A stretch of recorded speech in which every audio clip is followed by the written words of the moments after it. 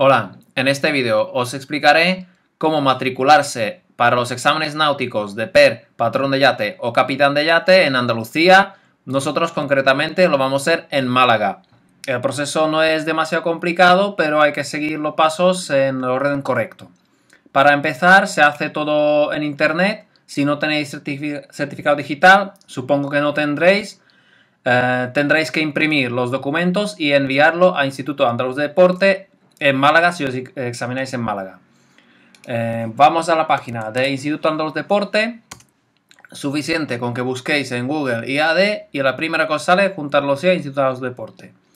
Eh, de todas maneras, os dejaré el enlace en, las notas del comentario del vídeo.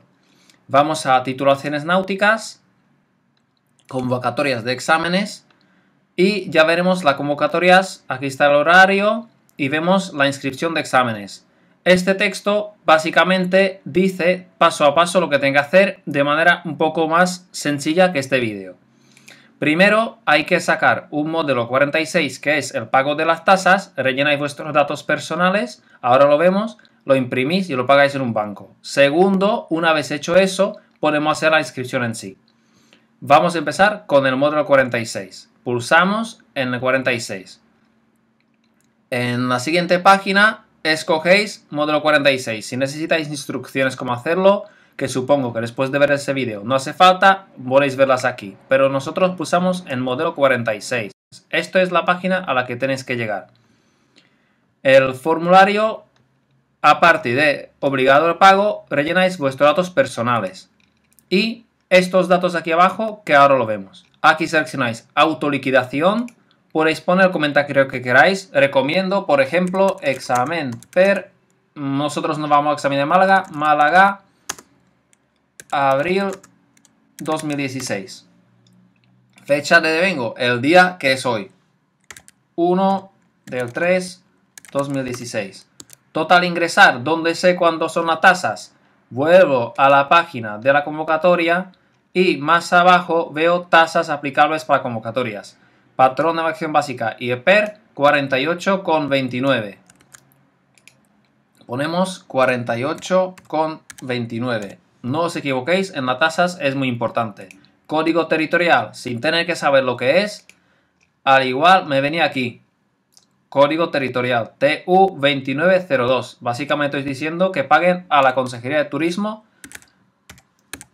Instituto Andaluz Deporte. Se os rellenará aquí cuando pase a la siguiente casilla, Instituto Andaluz de Deporte. Concepto de pago, igual, viene aquí, concepto de pago 0009. 0009. Y seguimos. Si queréis comprobar que está hecho bien, concepto de pago, abrís aquí, derechos del examen para gobierno, embarcaciones de recreo. Perfecto, lo que queremos. Todos los demás lo dejáis en vacío y pulsáis validar. Nos aparecerá arriba una opción al ingresar todo bien y vamos a pulsar imprimir. Pago telemático sería si queréis pagar por transferencia, pero esto es caso general. Os aparecerá el formulario de las tasas. Si lo vemos abajo, aparecen tres veces el mismo formulario. ¿Por qué? Una vez que lo imprimo, tengo tres copias del mismo papel. Voy al banco para pagarlo. En el banco ellos me sellan las tres copias que las he pagado, se quedarán con la última que aquí arriba pone talón de cargo, yo me quedaré con la siguiente que es para el interesado que soy yo y el último papel que es para la administración ejemplar de la administración aparece aquí o es el que tenéis que enviar al Instituto de los Deportes. Este modelo me lo dejaré abierto una vez, o que una vez que lo tenga impreso, lo tengo al lado porque necesitaré este número aquí, este número aquí debajo del código de barras, este aquí, lo necesitaré para el siguiente paso para rellenarlo en la solicitud de inscripción en el examen, que es lo que vamos a hacer ahora. Para seguir con el proceso, porque todo esto habéis imprimido las tasas, pero todavía no os habéis matriculado.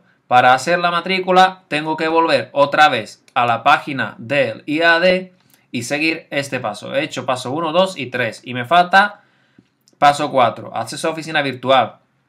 igual aquí me recuerdan, hay que tener a la vista el número debajo del código de barras de impuesto 46. Me lo dejo aquí abierto, vosotros lo tendréis al lado impreso o lo que sea. Selecciono primera convocatoria, vamos a ir en abril, sin certificado digital. Una vez aquí, me puedo leer todo el comentario, pero lo que necesito es realizar el trámite sin certificado digital. Pulsamos y me pide que indique mi DNI. Una vez he metido mi DNI, encontramos, solamente podemos hacer un trámite disponible, que es pruebas teóricas para titulaciones de náutica de recreo, primera convocatoria. Pulso aquí y pulso otra vez debajo en la línea azul para acceder al trámite. Aquí me da un código de gestión, si os lo queréis apuntar bien, no hace falta para nada realmente, a no ser que os dejéis en mitad y devolvéis mañana. Inicio de trámite, lo que queremos hacer, iniciar trámite.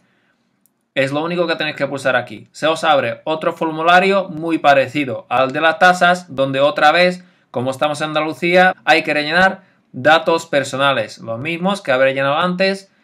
Aquí os piden un poco más, os piden el género y una fecha de nacimiento. Todo lo demás igual que en el formulario de tasas. Confío que sepáis rellenar esto. Autorización de padre, no hace falta si no sois menores de edad, que para PER no podéis serlo. Y lo que es importante, número 3, aquí, convocatoria a la que será a presentarse. Vamos a presentarnos, aquí escogéis si queréis presentaros en Cádiz, en Málaga o en Sevilla. Nosotros vamos en Málaga a patrón de embarcaciones de recreo, primera convocatoria. Cuidado que hay otro que es reducido, ese solamente para los que ya tienen el PNB. Nosotros vamos a ir a patrón de embarcaciones de recreo. Si os queréis examinar para patrón de yate o capitán de yate, escogéis patrón de yate o capitán de yate. Por supuesto patrón de marcaciones de recreo. Y a continuación me piden número de modelo 46 aquí, que es precisamente este número que aparece aquí enterito. Incluso podremos copiarlo y pegar. ¿Vale? Si lo tenéis en papel lado, lo tenéis que teclar manualmente. Os asegurad que el número este está bien, es muy importante. Dispone de la titulación requerida expedida por la comunidad autónoma. ¿Eso qué es? Eso simplemente es para patrones yate o capitanes de yate. Los que vais a examinaros del PER lo dejáis tal cual vacío sin rellenar. Lo que os vais a examinar de patrón de yate o capitán de yate, se supone que para patrón de yate ya tenéis que tener el título de PER y para capitán de yate el título de patrón de yate. Aquí tenéis que escoger de dónde tenéis vuestro título anterior. Si os sois para capitán de yate, por ejemplo, yo tengo que tener un título de patrón de yate de la comunidad, la que sea. Andalucía, Comunidad Valenciana, Madrid, si lo tenéis de la, de la Marina Mercante directamente. Aquí os escogeríais, pero repito, si solo en caso de que os vaya a examinar en patrón de yate o capitán de yate. Aseguraos, mira vuestra tarjeta porque os sueléis equivocar aquí. Bien, nosotros vamos al PER y lo dejamos vacío sin selección nada, porque no tenemos que tener ninguna titulación anterior. Lo último que nos falta es poner aquí en Marbella al día 1 del marzo del 2016. Ponéis vuestro nombre, por ejemplo, Juan García, y le dais a guardar.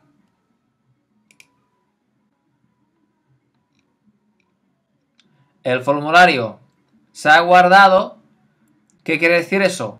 Que os habéis matriculado. Todavía falta un paso. Pulsáis en volver y veis que tenéis el trámite para completar. Simplemente hace falta pulsar este botón grande que pone finalizar.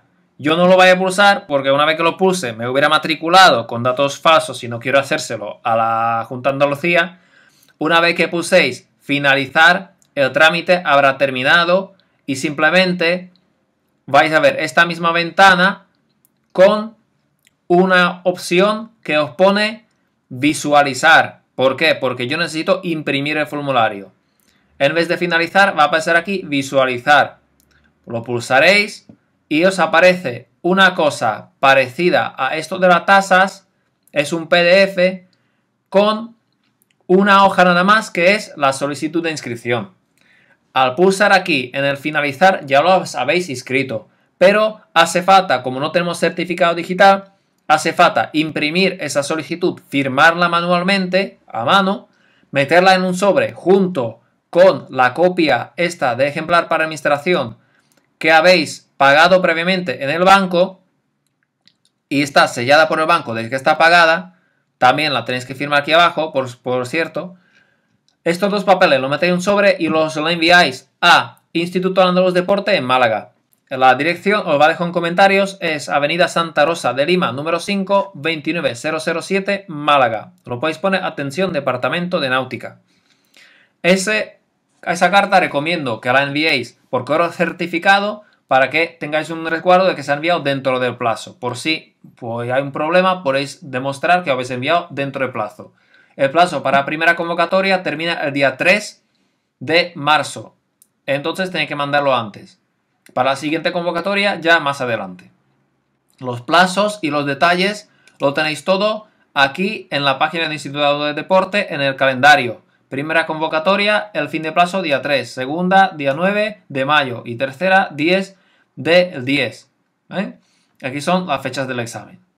Con esto creo que es suficiente y que me he explicado más o menos bien para que podáis hacer todo la matrícula correctamente.